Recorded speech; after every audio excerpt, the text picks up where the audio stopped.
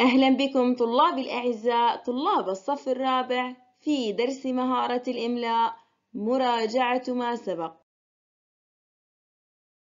أهداف الدرس يتوقع من الطالب في نهاية هذا الدرس أن يطبق معارفه الإملائية بشكل صحيح، يكتب ما يملى عليه كتابة صحيحة. أحبائي الطلبة، سنراجع اليوم المهارات الإملائية الآتية: أولاً الحركات القصيرة والحركات الطويلة. ثانياً التنوين. ثالثاً الألف الملفوظة غير المكتوبة. رابعاً الهاء والتاء المربوطة. هل أنتم مستعدون؟ هيا لنبدأ. إذا سيكون درسنا لهذا اليوم مراجعة ما سبق تعلمه.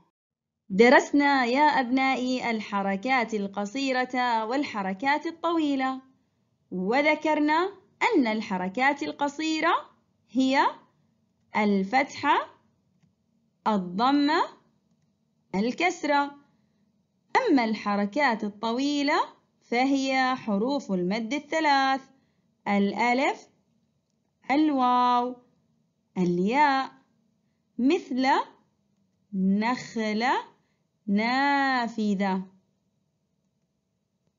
نجوم نور. نداء نيران. واتفقنا أن تغيير الحركات القصيرة إلى حركات طويلة أو العكس. يؤدي إلى تغيير معنى الكلمة وتحويلها إلى كلمة جديدة مثل كتب كاتب. بارك الله فيكم. والآن لننتقل إلى الكتاب المدرسي للإجابة عن السؤال الأول. اختر الكلمة الصحيحة من بين القوسين لملء الفراغ فيما يأتي. ألف فراغ الإبداع على الموهبة والتدريب. فكروا يا أذكياء ما الكلمة المناسبة لإكمال الفراغ؟ يقوم أم يقم؟ أحسنتم الإجابة الصحيحة هي يقوم الإبداع على الموهبة والتدريب. ب.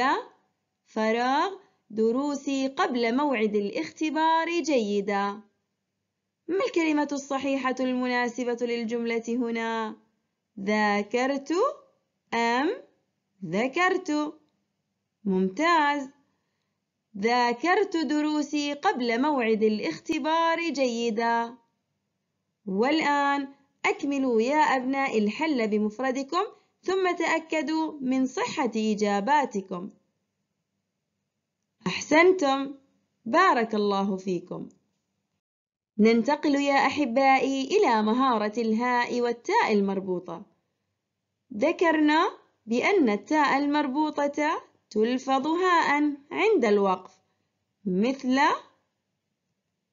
ساحة وتلفظ تاء عند الوصل مثل ساحة المدرسة وعرفنا بأن الهاء في نهاية الكلمة تلفظ هاء عند الوقف. مثل إله كما تلفظ هاء عند الوصل أيضا. مثل إله الكون. أروني إبداعاتكم في حل السؤال الثاني. أكمل الفراغات في الجمل الآتية بكلمات مناسبة تنتهي بتاء مربوطة أو هاء ما المطلوب من السؤال؟ أحسنتم. إكمال الفراغات بكلمات مناسبة لكن لا بد أن تنتهي بماذا؟ رائع. بتاء مربوطة أو هاء ألف. تهتم فراغ بالطالبات حتى يصبحن مبدعات. حسناً. من التي تهتم بالطالبات؟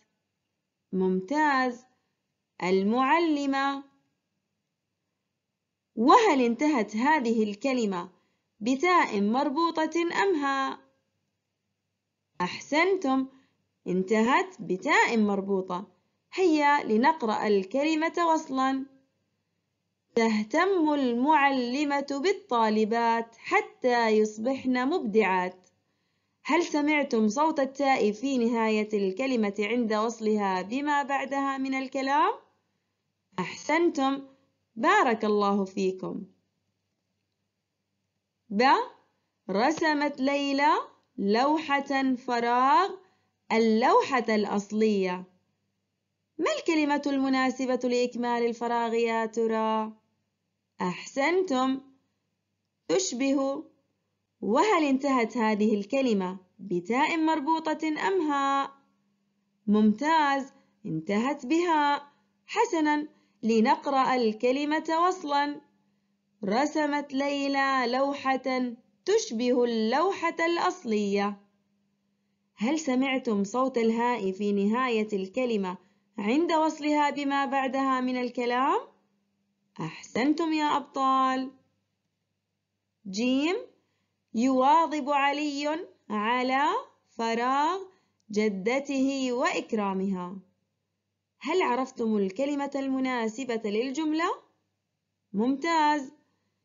يواظب علي على زيارة جدته وإكرامها. وهذه الكلمة انتهت أيضا بتاء مربوطة. أبدعتم يا أبطال. بارك الله فيكم.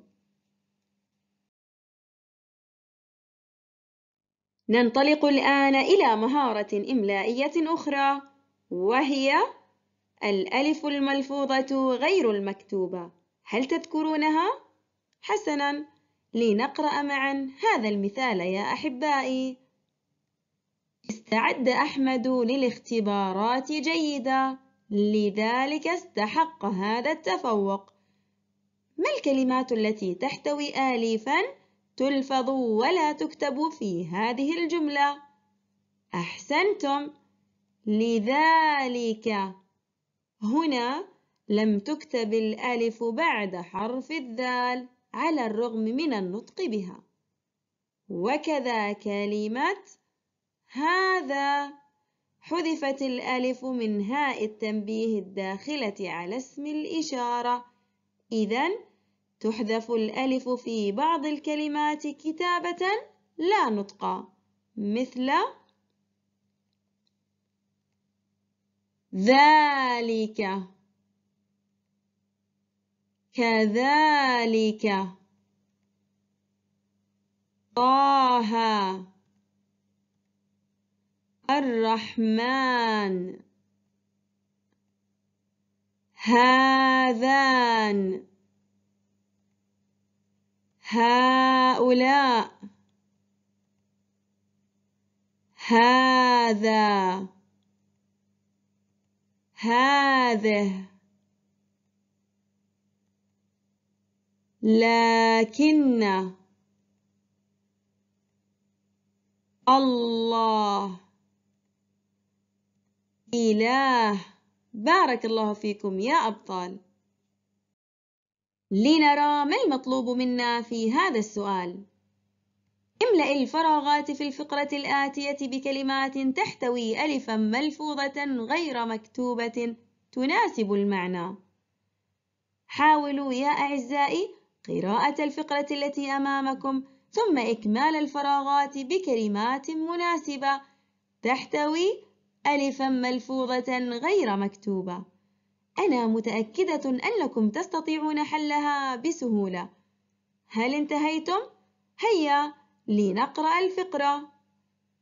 إن الاجتهاد في الحياة مطلوب ولكن الأخلاق أهم منه. فلو قرأنا سير العظماء في هذا العصر والعصور السابقة لوجدنا هؤلاء جميعا اشتهروا بأخلاقهم قبل ذكائهم.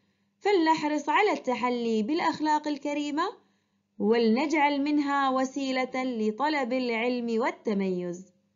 أحسنتم الإجابة فجميع الكلمات مناسبة للمعنى وتحتوي ألفا ملفوظة غير مكتوبة. ففي هذه الكلمة حذفت الألف الواقعة بعد اللام. وفي أسماء الإشارة هذا وهؤلاء حذفت الألف الواقعة بعد هاء التنبيه. بارك الله فيكم. المهارة التالية يا أحبائي هي التنوين وكما تعلمنا سابقا فالتنوين هو نون ساكنة تلحق آخر الاسم نطقا لا كتابة وذكرنا أن التنوين ثلاثة أنواع النوع الأول تنوين الفتح. وكما اتفقنا تضاف بعد تنوين الفتح ألف مثل دفترا. أما إذا انتهى الاسم بتاء مربوطة أو همزة مسبوقة بألف فلا تضاف ألف إليه مثل حقيبة وسماء. النوع الثاني تنوين الضم. مثل دفتر وحقيبة. أما النوع الثالث تنوين الكسر مثل دفتر وحقيبة. هيا لنطبق ذلك في حل السؤال الرابع. نون الكلمات الآتية بأنواع التنوين الثلاثة. حسناً. كلمة فرشاة مع تنوين الضم تصبح ماذا؟ أحسنتم. فرشاة ومع تنوين الكسر تصبح فرشاة. أما مع تنوين الفتح فتصبح فرشاة. وكما ذكرنا في تنوين الفتح إذا انتهى الاسم بتاء مربوطة لا تضاف ألف إليه. والآن دورك يا بطل. أكمل حل السؤال بمفردك ثم تأكد من صحة إجابتك. أحسنتم. بارك الله فيكم. والآن عزيزي الطالب أوقف مشاهدة الفيديو وأحضر دفترك وقلمك. سأملي عليك أربع كلمات لتكتبها بنفسك بطريقة صحيحة. هل أنتم مستعدون؟ هيا لنبدأ. كريما. كريما حزين. حزين. مسابقة. مسابقة. إله. إله. هل انتهيتم؟ حسناً. سأعرض عليكم الكلمات لتتأكدوا من كتابتها بطريقة صحيحة.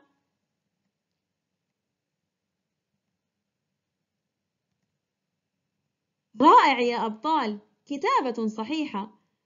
إلى هنا نكون قد وصلنا إلى نهاية درسنا لهذا اليوم. نلقاكم بخير يا أحبائي في الحصص القادمة بإذن الله.